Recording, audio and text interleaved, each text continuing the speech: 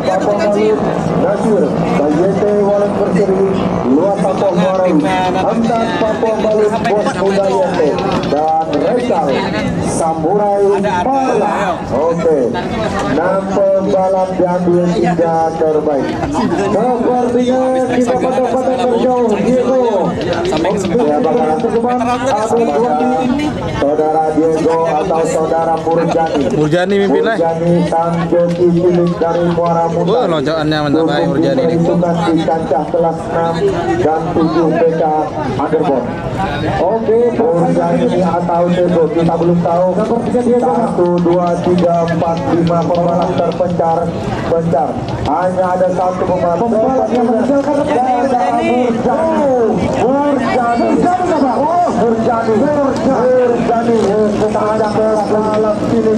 Ini kami saudara almarhum Anto. Murjani cukup berada di posisi Rani berada di posisi kedua.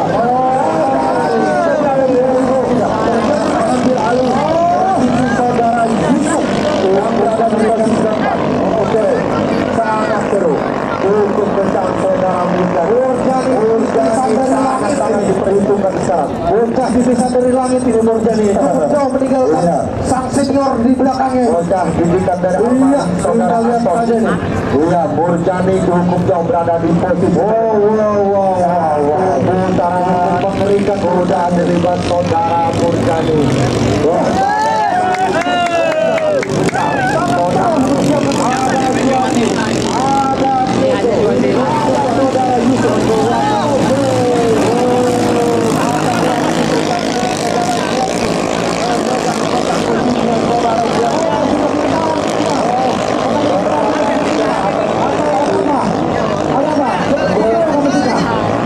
Oh, ternyata perahunya jebol.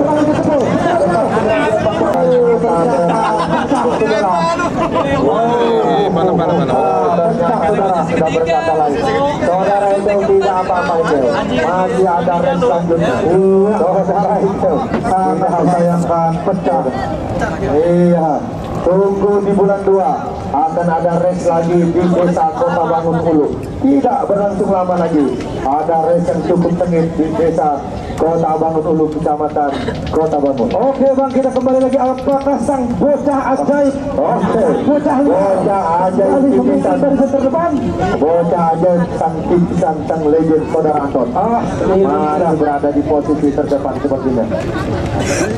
Siapa? Yoni. Oh, masih terjadi trek sengit antara satu, dua, dan tiga. Ingin terjadi dengan saudara Murjani? Itulah. Ternyata saudara Murjani bisa dituntut saudara Diego. Yang berada di posisi pertama. Murjani kedua. Dan di posisi ketiga ada saudara. Juwadi masih memegang-memegang posisinya. Apa terjadi? Ada apa dengan Juwadi ini? Posisinya. Diambil oleh saudara Diego.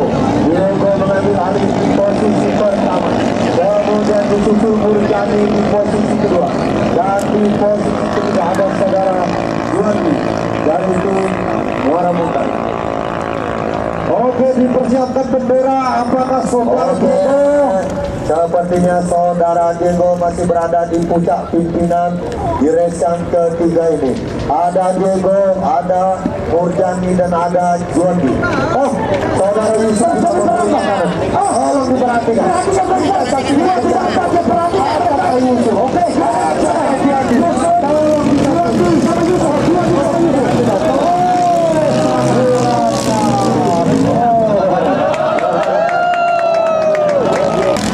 Sekarang dipersiapkan race terakhir tiga tiga kita untuk babak ke semifinal. Iya. Selanjutnya Benteng Muhammad Afrizal dari Star Najam. Satu race masing-masing di sini enam pembalap kita ambil tiga terbaik.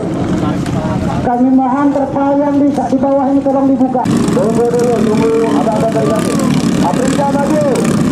Afrizal maju, betul. Belum, belum, belum.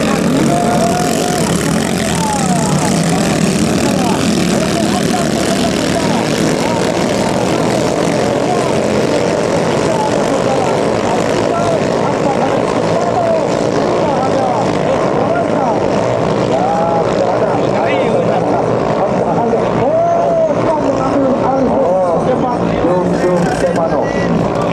Sang kuda Kutai Barat. Oke. Enam pembalap sama rata kekuatannya belum bisa kita pisahkan.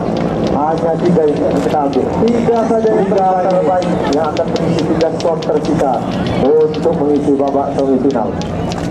Sudah main nyawa Di kita. putaran arah boy utara kita lihat saja cukup cantik, cukup jamin, cukup lincah.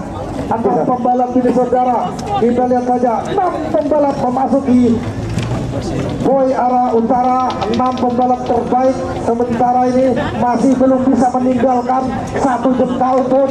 Kita lihat saja enam pembalap tidak berjarak jauh, hanya berjarak puluhan meter saja. Ada satu warna hijau sepertinya berada di posisi terdepan. Oh, hijau. Oke.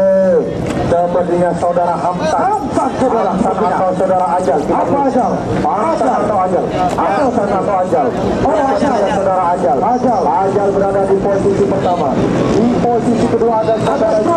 Di posisi ketiga ada Resal. Resal Hamzah. Hamzah lima Ajal. Hamzah ada saudara Nasir. Nasir itu kita. Oke. Iya, sepertinya saudara Ajal masih mengikuti posisi terdepan. Kemudian disusul dari saudara Jung Jung Stefano. Tolong jelaskan ya.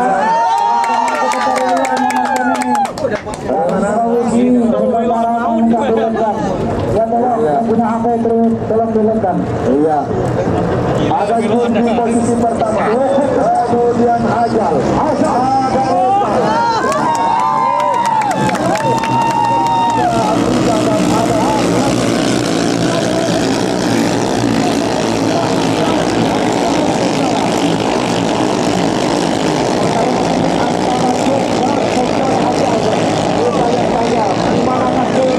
Ada berpihak dari empat pembalap terdepan ini tiga tiket direbutkan enam pembalap oke satu putaran.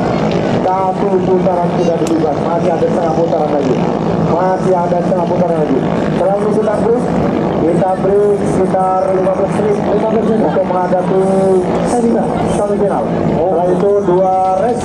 Kita break lagi baru kita lanjut ke babak grand final. oke.